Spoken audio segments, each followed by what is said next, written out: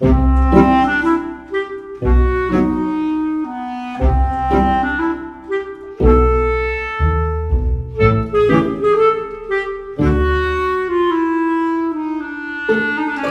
decided that he wasn't going to go anywhere else.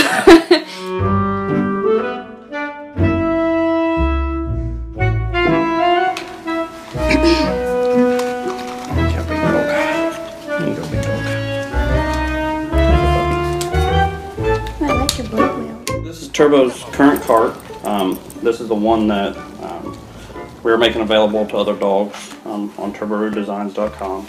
Um, basically, it's just all made out of 3D printing. And then you got your little razor wheels, and then your strap, and that's pretty much it. Fits them perfectly and gives them a chance to be mobile.